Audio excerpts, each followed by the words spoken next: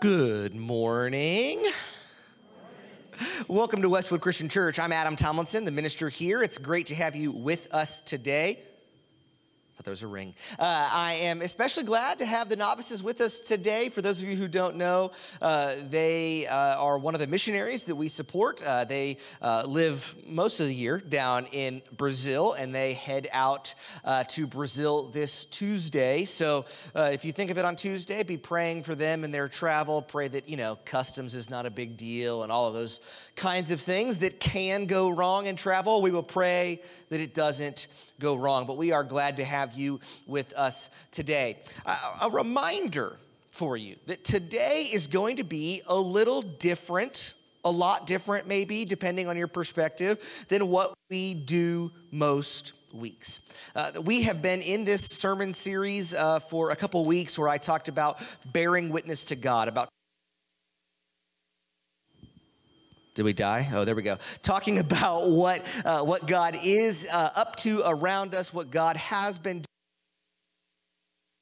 Talk over here. Is this one on? Yeah. We were trying to use this so that you'll, anyway.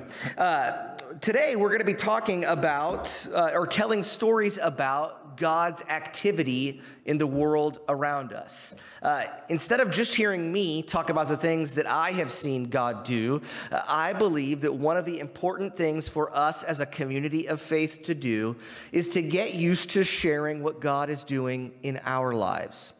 Uh, the, the scripture passage that we're going to read today will talk about uh, that. And um, so, here in a little bit in our service, um, I will come forward and I will begin us, or I will begin this storytelling process uh, with us. And my hope is that these become moments where we celebrate what God is up to around us. I'm also excited because our, our downstairs children's teachers, um, they're actually going to bring our kids up so that they can hear some of our stories, right? I made the point a couple weeks ago in my sermon that my kids, our kids, one of the most important things for them is to hear the stories of what God is up to. That one of the most important things that you can do for my kids is to help them learn how to see what God is up to. That is one of the most important things you can do. And so it felt like they should be up here to hear stories that get shared. So uh, they'll be up here a little bit later on and, and, and uh, after communion. And uh, I hope that it will be a great time later in our service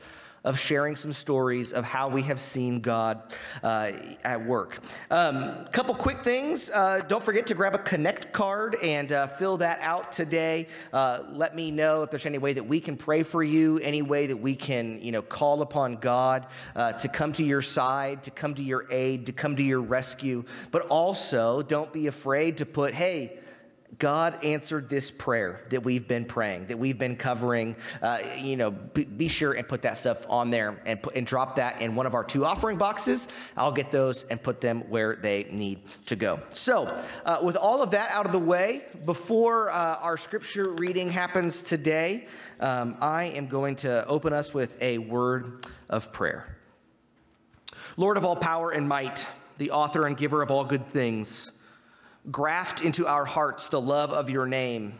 Increase in us true religion. Nourish us with all goodness and bring forth in us the fruit of good works through Jesus Christ our Lord, who lives and reigns with you and the Holy Spirit, one God, forever and ever. Amen. Our first reading is from Mark chapter 5, verses 15. What? it said Chris Wales. It said Chris Wales on the screen, but you're welcome to read, Mary.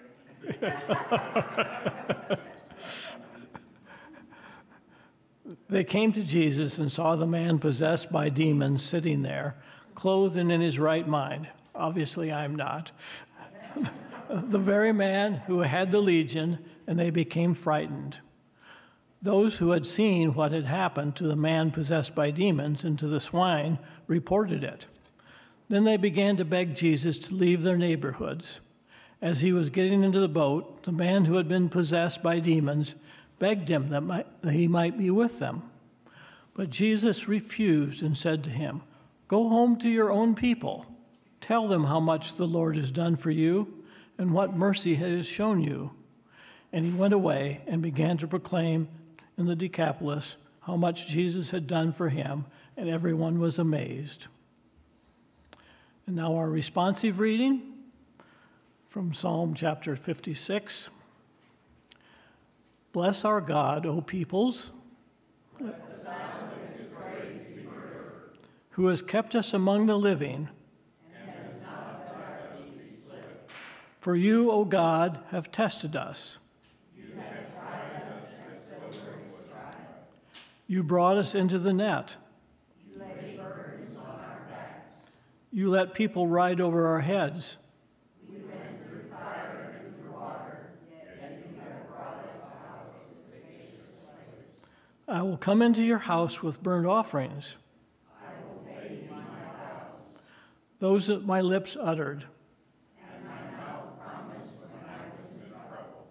I will offer to you burnt offerings of fatted calves with the smoke of the sacrifices of rams. Come and hear, all of you who fear God. I cried aloud to him.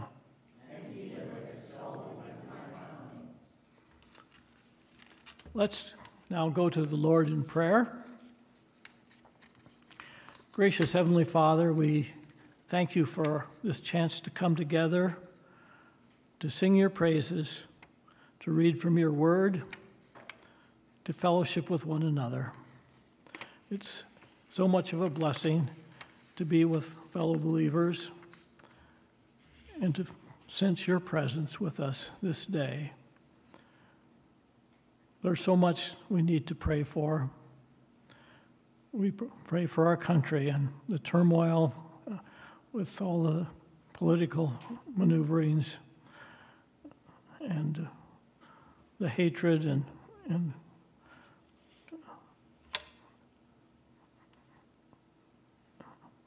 inability to see each other as fellow Americans. We pray for that. And we realize, Lord, that a large part of that is so many people need to know you, know your principles, your rules. We pray, Lord, that you would come into people's hearts, change them, and make them new, more like Jesus. We have several things that we need to pray about uh, that are on our prayer list. We think about Stella Muller and her battle with COVID. We pray, Lord, that uh, you'll protect her during this and uh, heal her very soon. We thank you for Nadine's surgery that, that went well, and she's now home recuperating. Continue to be with her and, and help her. Protect her from pain, Lord, is our prayer. We pray for Vicki and for her uh, treatments and that she's in for a six week session. Lord, uh, may they be successful and you protect her as well. Adam's dad is still looking for a job, and we pray for that, that, that uh, difficulty. Uh, Bring something to him quickly, Lord. There are other people who are dealing with sickness, with financial problems, uh, with spiritual problems of, of all sorts. We pray for your intervention with that.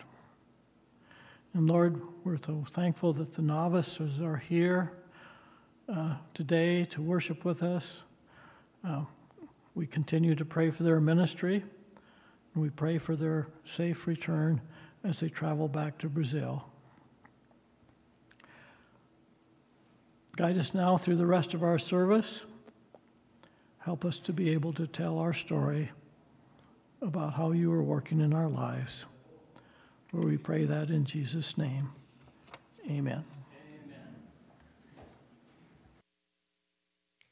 will you please stand and we're going to sing some songs about how great our God is and how we can tell our story about him.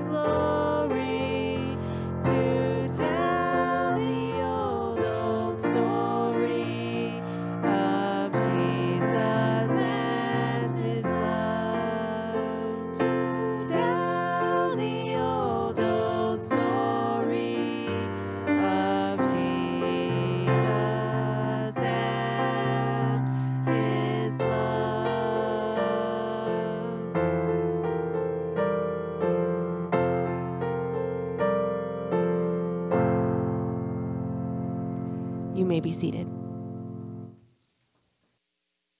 read the uh, passage uh, from 1 Corinthians today uh, before we uh, take communion, before we join together at the Lord's table.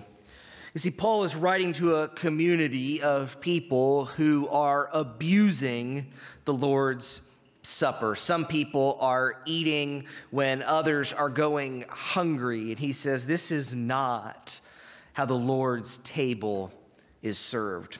And then in chapter 11, he says, For I received from the Lord what I also handed on to you that the Lord Jesus, on the night when he was betrayed, took a loaf of bread, and when he had given thanks, he broke it and said, This is my body that is for you. Do this in remembrance of me. In the same way, he took a cup also after supper, saying, This cup is the new covenant in my blood. Do this as often as you drink it in remembrance of me. For as often as you eat this bread and drink the cup, you proclaim the Lord's death until he comes. Uh, one of the reasons that our church takes communion every week is because Jesus says, as often as you gather, do this together in remembrance of me. But, but Paul does something that I think doesn't get talked about enough in this passage. You see, Paul says that Jesus tells us to do it in remembrance, right? Do this and remember me when you do it. Do this in remembrance, do this in remembrance. And then Paul says, but when we do it, we don't just remember. Did you catch it? He says, when we do this, we proclaim the Lord's death until he comes. There is something active that we do. We aren't just remembering the past, we are proclaiming it. And we aren't just proclaiming the past, are we? We're proclaiming the future. You see, Paul tells us that when we eat and drink, and it doesn't look today the way it might have looked a couple thousand years ago, that's okay. But when we do this, we are proclaiming that Jesus has died and that Jesus will come again. You see, every week at Westwood, we bear witness to perhaps, hmm, maybe not even perhaps, definitely the most important thing that Jesus or God ever did. Jesus, who humbled himself into the form of a slave and took the form of a person was born, lived a life that we could not live for us, died a death that we should have died or should die, and was raised to new life, trampling over death with death. Where, O death, is thy sting? Paul says. It's gone. Jesus has defeated the sting of our sin. And Jesus hasn't just defeated it one time, he's going to come back at some point. And when he does that, we're all going to live in the fullness of vision of Christ, which I cannot hope for. I think it's what keeps us going. With all that said, we do as Paul informed the Corinthian church to do. We take uh, prepackaged chalice, pull out that bread. Paul, quoting Jesus, says, This is the body of Christ, which is for us.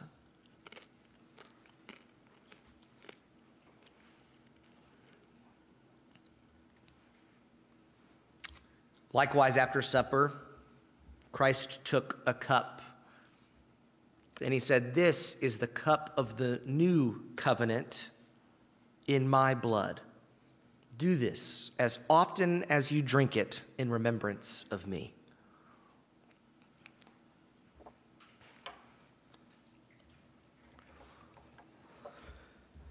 God, we thank you for the opportunity to join at your table.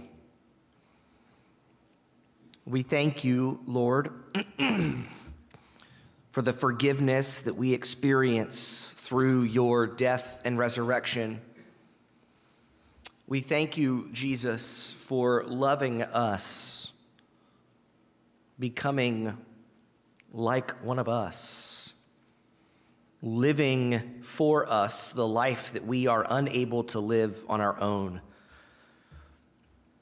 All of these things are the work of your love for us and for your creation. Lord, I pray that we, as the song we just sang, that we would love to tell the story because we know it's true, because it brings us joy, because it is the hope of the world. Lord, it is in Jesus' holy name that we thank you and that we praise you. Amen.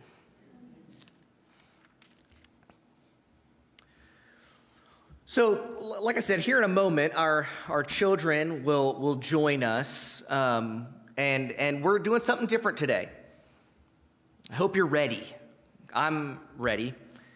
Um, today, we're going to tell some stories. In, in the, the Mark 5 passage that was read for us today, Jesus heals a man who has been uh, possessed by demons, so many demons, in fact, that they are like uncountable. There's a thousand of them or something. Holy cow. And uh, Jesus heals this man who's been demon possessed, and the man wants to follow Jesus. He wants to follow Jesus around. And Jesus says, No, what I need you to do, he says, I need you to go home to your friends and tell them how much the Lord has done for you and what mercy he has shown you. And we're told that he went away and began to proclaim in the Decapolis how much Jesus had done for him, and everyone was amazed. You see, what this man's job from that point was his task from God was to go tell people what he had done, to go tell his friends. So here's what we're going to do today. We're friends, right? I hope you consider me your friend. We are friends of one another we are family of one another. We today are going to take some time to tell stories of what God has done, what God is up to, in hopes, let me just kind of put my cards on the table. My hope is two things. One, that we can celebrate each other and with each other of where we have seen God, but also that together we might learn how to see God better at work around us. That is my hope for today. Um, now, I have a couple stories that I want to share, not from my life. I'll tell my stories a little bit later on. Um, I'm also doing, I'm, I'm going to do these to give you just a little bit more time. You might notice that your bulletin has a little bit of space underneath where it says our stories. Maybe you think I shouldn't just get up there and talk on my own. Maybe I should jot a couple things down. Jot a couple things down that you maybe want to share. I reached out to our, uh, some of our missionaries that we support, and I said, hey, here's what we're doing this weekend. I'd love to share a story on your behalf if you have one. So, um, the first story that I have is from Justin Burge, who is the executive director of the college ministry that we support here in town. He says, We have seen God show up in some really awesome ways in the staffing at his house this year. We have been praying for new staff for the past two years. And over the course of this past year, God has brought three new staff to our organization. Over this time, there has been a significant need to learn to lean in on the discernment and protection of God as we have turned a number of applicants away through this process. and the children arrive. Come on in.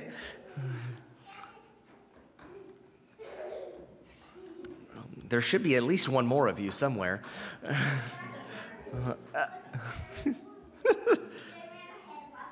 That's okay. Go sit down. So, Justin says that recently we got to the final steps with an applicant, and in the background check portion of uh, I heard God tell me to include an education check, which I often don't include, his words. Through this check, I learned that the applicant had misrepresented themselves to us. This is but one of three stories of God protecting us against hiring the wrong person. I believe that God has brought together the staff team that we have for such a time as this. At our recent staff retreat, the chemistry of the team was the best it has ever been since I have been on staff. I praise God for his provision and protection and look forward to the year to come. We got this notification or this note from IDES, who you might remember was here earlier this year. Uh, God continues to do amazing things all around the world through IDES. Your partnership has recently resulted in rice seed for planting and homes to be rebuilt in Myanmar following destruction from the military coup, irrigated farms for hundreds of people in the deserts of Kenya, baptisms in a closed country following a clean water project, and over 80 baptisms and 750 homes rebuilt in the Philippines as a result of the typhoon relief efforts there. I recently returned from Ukraine, Poland, and Romania, where you are helping provide food and shelter for four refugee camps that IDES is funding. These camps have provided thousands of sheltered nights and meals since the beginning of Russia's invasion. You see, I think that when we talk about God stories, it can be very tempting to think that what I am asking you to do is share a story of how God has healed somebody right in front of your eyes. They were missing a toe and it regrew. Those are the kinds of stories that we feel like we're asking for. But really, I am asking for us to watch God work in the everyday. Now, I, I will admit, uh, John, I have your email that you sent me here, but would you like me to read it or would you like to share what you have seen? Okay. John says, for four months on furlough, God has shown us how God has worked through his people in marvelous ways. Five people opened their homes to us to use, even though they themselves were not there. They told us where we could find the key and said, Make yourself at home and eat whatever you can find. Others put us up for a whole week. Some were friends, but one was traveling, and we were complete strangers. When Ruth got sick, a three day stay turned into a six day stay, and they were welcomed. Praise God, from whom all blessings flow.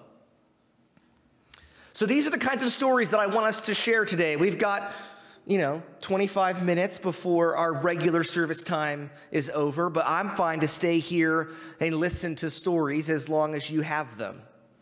Let us encourage one another now. Now, I have a microphone. We saw how well I worked with this one a minute ago. Maybe it works, maybe it doesn't. I'm happy to come to you if you don't want to walk all the way up here to share your story. But I'd love to hear a story of God at work. Who has a story that they would like to share?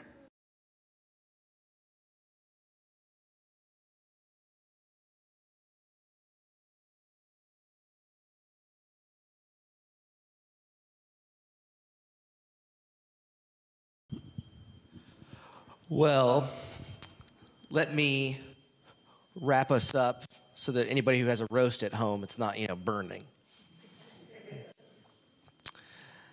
Uh, I'm gonna tell you one story for me, and then, yeah, and then we'll wrap up service today. Thanks for staying long. But uh, so Tom mentioned, and Ann mentioned, um, and maybe Marie mentioned. Anyway, we had this four-day service event yesterday, and um, uh, many of you know that like my pitch for the last month, right, was we have outdoor stuff and indoor stuff because I know not everybody wants to be outside.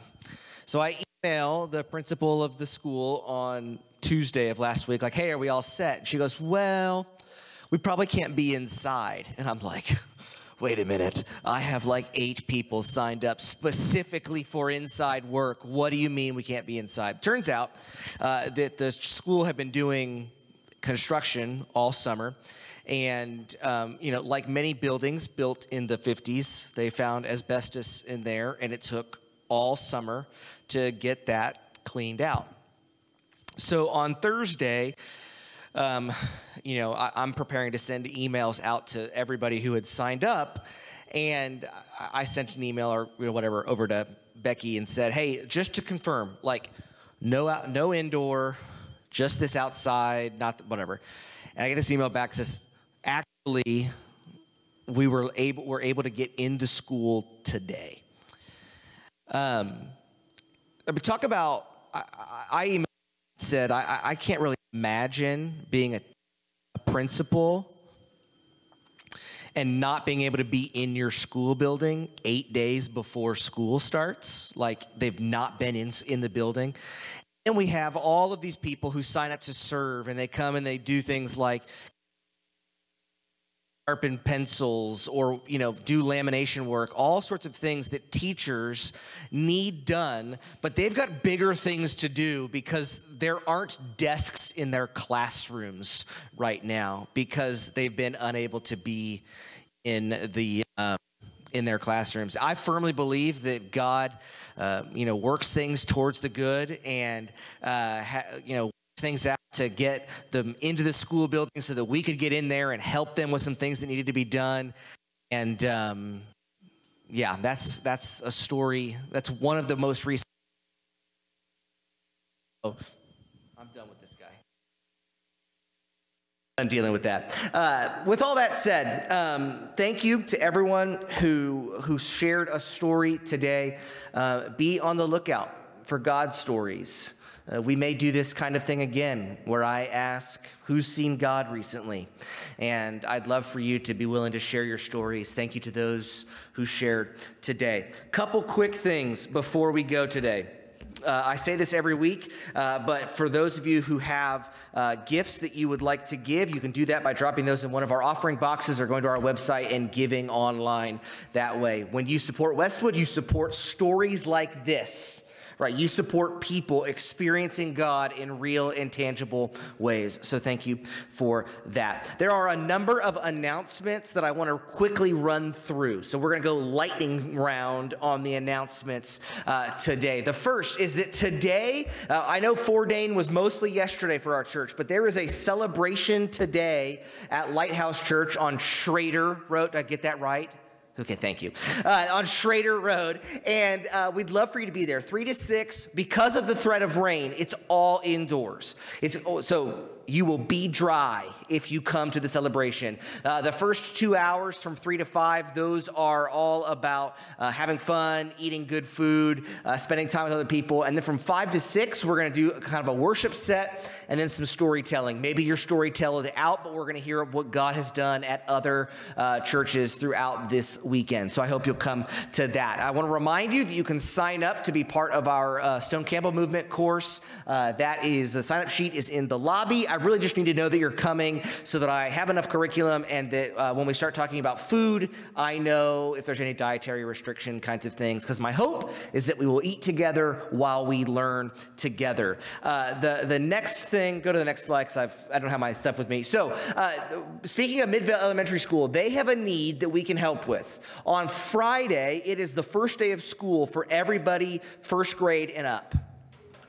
Uh, they would love to have people uh, who get there early. They'll give you a vest that says volunteer or whatever, and you can help kids find their classroom on the first day of school. As you can imagine, for some of these kids, it's the, it's the first time they've been at school, and this is a way that you can help them uh, find their, their classroom. If, you show, if you're interested in that, let me know. I will get you the information that you need to know. I mean, it's going to be from like 745 to 8:15. Not even really a long commitment on September 2nd, but that's a great way that we can serve our community. Uh, later that day in the evening, we're going to have our fall kickoff here at the church. Uh, the church is going to provide hot dogs, hamburgers, and uh, ice cream. Uh, we are asking everybody who comes to that to bring a side that you are able to share, and then uh, either pie or cake that you can eat with ice cream, which is like all of them, except I guess not chicken pot pie. Anyway, um,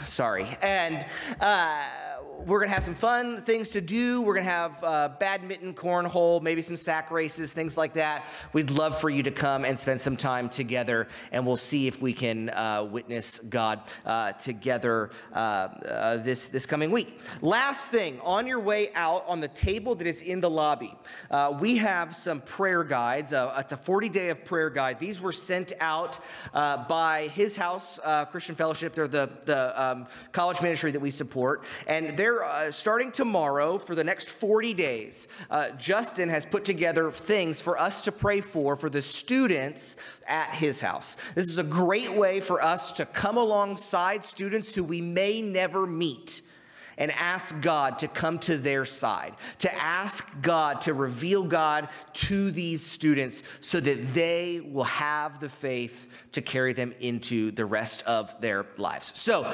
grab one of these on your way out. Um, like I said, it starts tomorrow, and then I would love for us to be a church covering a bunch of college kids with prayer. What a wonderful way for us to partner with them. Take these words from Ephesians with you into your week. Now, to him, who is able to do far more than we can abundant. Sorry, I'm, i have a different version memorized in my head. Uh, now to him who, who, by the power at work within us, is able to accomplish abundantly far more than all we can ask or imagine. To him be the glory in the church and in Christ Jesus to all generations, forever and ever. Amen. Go in peace with eyes for the Lord, who can do more than we can ask or imagine.